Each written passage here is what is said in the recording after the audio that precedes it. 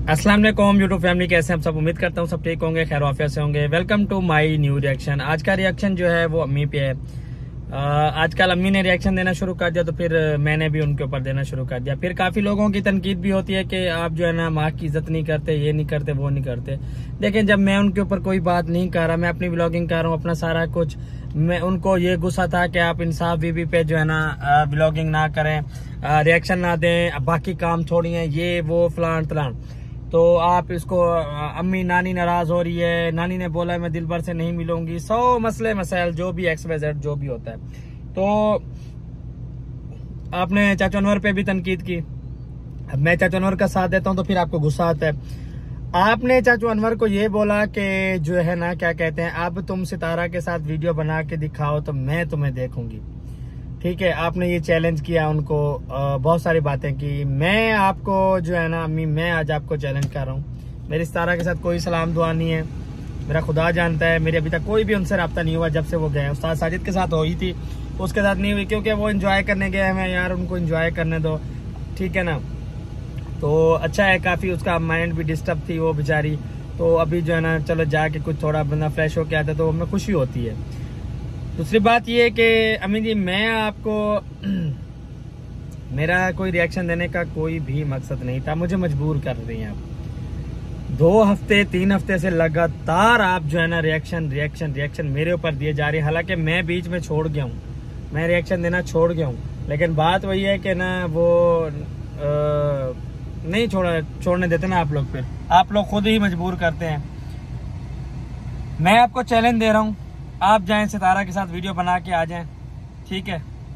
मैं आपको चैलेंज दे रहा हूँ। आपने बोला ना चाचू उनवर को कि तुम जाओ उसके साथ वीडियो बना के आ जाओ तो फिर मैं तुम्हें देखूँगी।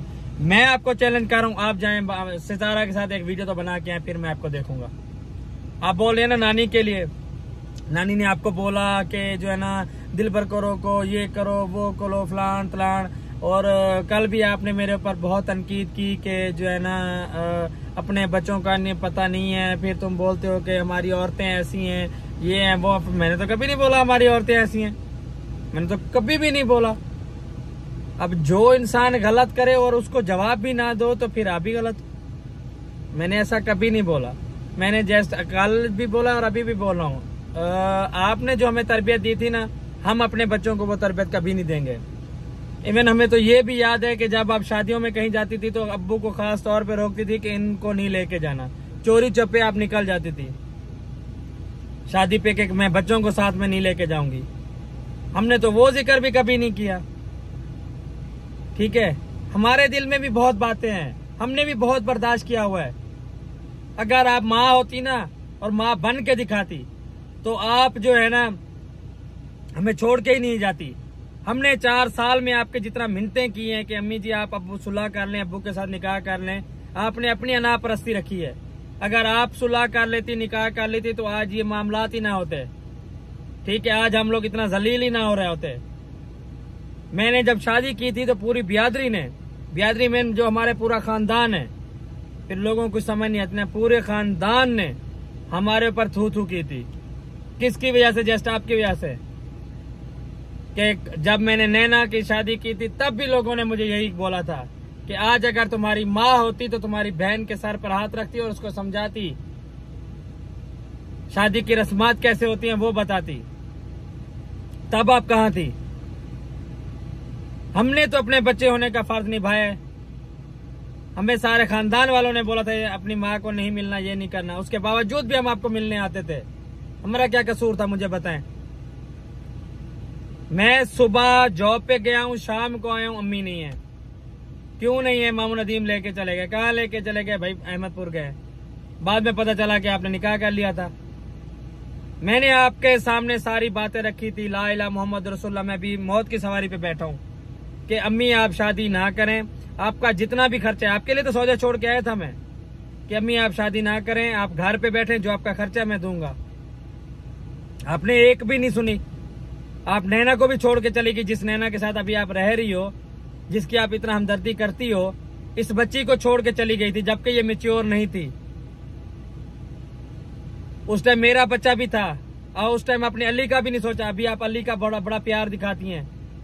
मैं इसलिए आपके प्यार से डरता हूँ कि जब आपने सगी औलाद को छोड़ के आप चली गई थी तो मेरे बच्चे से क्या क्या करेंगे? मैंने आपके आगे हाथ जोड़े थे कि अम्मी मैं मैंने आ, हमारा और ऐसा का डिवोर्स हुआ हुआ है। नैना मिच्योर नहीं है अली को मैं नहीं संभाल सकता उस टाइम आपने एक मिनट भी नहीं लगाया। दो साल का था अली। उस टाइम आप हमें छोड़ के चली गई थी मुझे नैना को भी संभालना होता था और अली को भी संभालना होता था। उस टाइम आपने एक सेकंड भी नहीं लगाया हमें छोड़ने के लिए।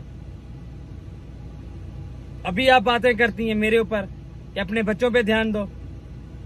मैंने अपने बच्चों की जो तरबियत की है और अपने बच्चों पे जो आ, जो कुछ मुझसे हो सकता है ना मैं आप, आपके कहने से पहले अच्छे से करता हूँ। समझ आई? इसलिए करता हूँ कि जो हमारे माँ ने हमारे साथ किया, मेरे बच्चों के साथ वो कभी भी नहीं होना चाहिए। कभी भी नहीं होना चाहिए। जो आपने हमारे साथ किया है। हम लोग एक एक चीज़ के लिए तरसे हैं एक एक प्यार के लिए तरसे हैं। अगर आप हमें छोड़ के ना जाते तो लोग हमारे ऊपर थू थू ना करते। यही नैना थी जिसको जो है ना आप छोड़ के चली गई थी, जिसके लिए अभी आपकी ममता जागती है। मेरा दो साल का बच्चा था, आपने उस टाइम नहीं सोचा। आपको निकाह करना था। अभी आप बोलती हैं, हम लोग गलत हैं। ठीक है?